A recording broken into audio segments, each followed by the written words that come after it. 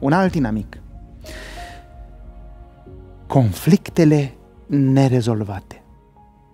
Asta este unul dintre cei mai duri inamici. Sunt acele stări în care noi mocnim.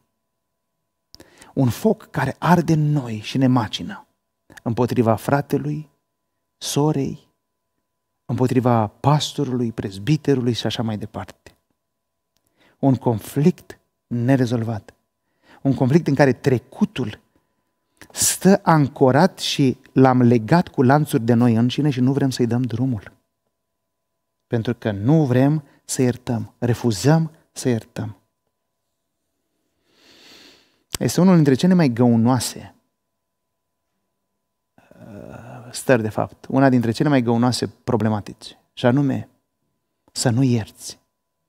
Asta va crea dezbinare și o dezbinare care adesea se transformă nu doar într-o ruptură, ci o ruptură cu scandal, cu ceartă.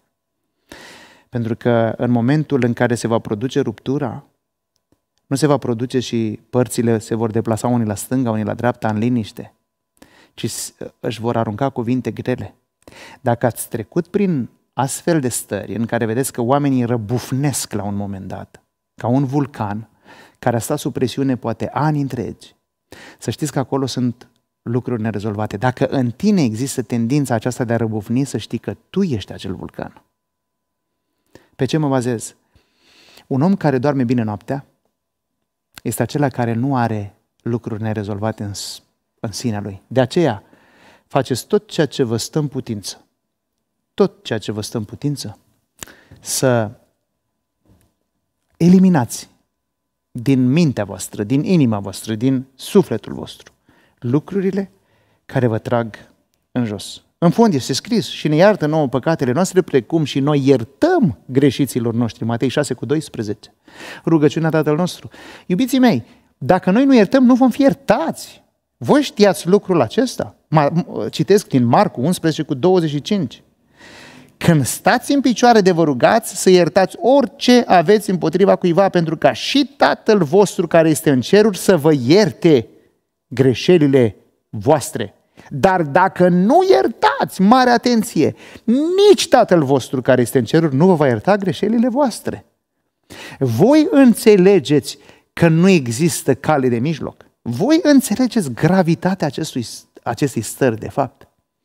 Nu doar că vom produce dezbinare, nu doar că avem potențialitatea de a dărâma Biserica lui Dumnezeu, de a produce rupturi ireparabile, ci ne vom pierde și sufletele, pentru că nu vom fi iertați. Este scris, nu este comentariul fratelui pastor Florin Antoni, este scris negru pe alb, citând din declarația testament a Domnului nostru Isus Hristos.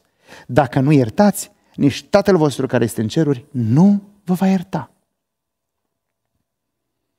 Dacă sunteți oameni care mogniți în voi, să știți că vă pierdeți vremea la biserică. Pentru că nu veți fi iertați. Veți petrece o viață întreagă aici și veți ajunge la final să fiți respinși. De ce? Pentru că ați cărat de bunăvoie și nesiliți de nimeni cu voi aceste lucruri. Voi să nu fiți așa.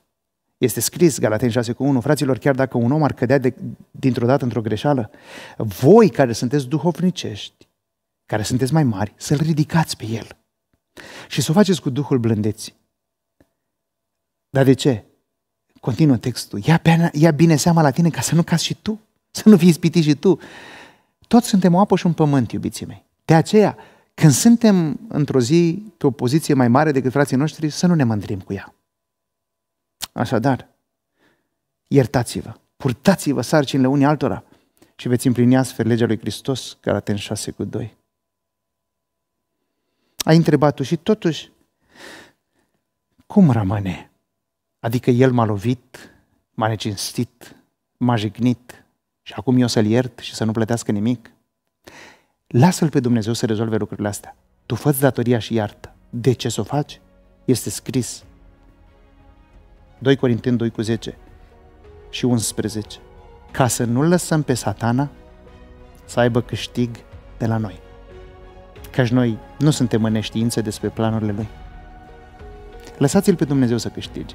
Lăsați-l pe Dumnezeu să judece între noi. Voi iertați, faceți-vă datoria, pentru că altfel se va produce ruptură.